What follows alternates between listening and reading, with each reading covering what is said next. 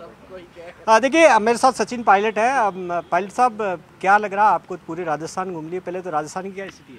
राजस्थान में बहुत अच्छा प्रचार हमारा रहा है। पहले चरण में हमारे लगभग सभी सीटों पे कांग्रेस पार्टी को बहुमत मिलेगा। और ये एक बदलाव का चुनाव है। ये इलेक्शन है ये इलेक्शन फॉर चेंज है। और चार महीने से सरकार बीजेपी के राजस्थान में है। कोई बहुत ज़्यादा इम्प्रेशन जनता पे नहीं छोड़ पाए हैं। और 10 साल से बीजेपी सरकार दिल्ली में है। राजस्थान के लिए कुछ उन्होंने खास किया नहीं। दो बार पूरा बहुमत मिला राजस्थान में 25 के 25 सीट, जीते। फिर भी कुछ ज़्यादा योगदान प्रदेश के विकास में नहीं दे पाए। तो अब लोग हमारी पार्टी को हमारे कैंडिडेट्स को हमारे मैनिफेस्टो को उसको पसंद कर रहे हैं और मुझे लग रहा है कि ये जो इंडिया गठबंधन है हम लोग बहुमत हमारे को मिलेगा चार जून को जब मत करना होगा। लेकिन आप देश भर के अंदर आपने कई रैलियाँ भी की।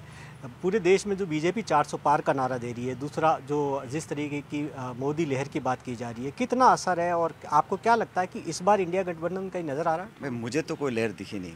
मैं देश के कई कोनों में गया हूँ, अनेक सभाओं को संबोधित किया है। सब लोग अकाउंटेबिलिटी चाहते हैं, दस साल की रिपोर्ट कार्ड पर चर्चा चाहते हैं, जो वादे किए किसान आमदनी दुगनी करने का, नौजवानों को रोज़गार देने का, महँगाई को ख़त्म करने का, वो तो हुआ नहीं, बल्कि संस्थाओं को कमज़ोर करने का काम किया, मुख्यमंत्री को जेलों में डालने का काम किया, कांग्रेस के खातों को सील करने का काम किया, विपक्ष के डेढ़ सौ सांसदों को सस्पेंड करने का काम किया। तो ये बहुमत जो लिया था भाजपा ने, वो जनसेवा के लिए दिया था। जन कल्याण की जो योजना है वो तो लगा ही नहीं। और एक तानाशाही रवैया अडॉप्ट किया, उसको भी लोग नापसंद कर रहे हैं और मुझे लग रहा है कि जो हमारा जो ऑल्टरनेट है, उसको लोग ज़्यादा पसंद करेंगे।